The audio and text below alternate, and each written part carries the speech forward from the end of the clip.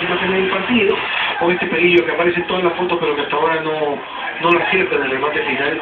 En lo personal, por lo menos ahora, no sé después, ahora digo, la dupla de atacantes peruanos este, que forman Álvaro y Lejuela me parece más, más interesante, con más movilidad, con más con, más aporte, pero en fin, eh, poco a poco cada uno tendrá que ir intentando. Y el Universitario de Deportes creo que terminó redondeando la imagen de un equipo que en la primera fecha es candidato, no vamos a decir más, sencillamente es candidato, que tiene opciones, que tiene un cartel grande, que tiene una propuesta y que gana los partidos y que tiene, voy a repetirlo, en Solano un elemento desequilibrante, distinto, diferente.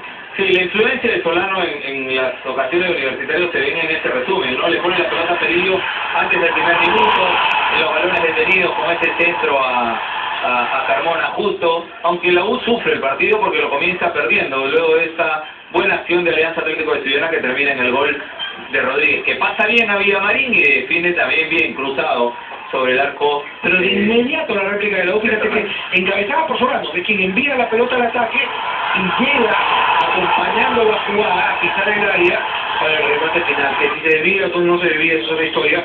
Lo que voy es a la, digamos, la, la magnitud de la presencia de Ñol, ¿no es cierto? Nos cierra el gol, vamos para adelante. Él genera la jugada, él la tira para adelante, él acompaña, él remata y él hace el empate.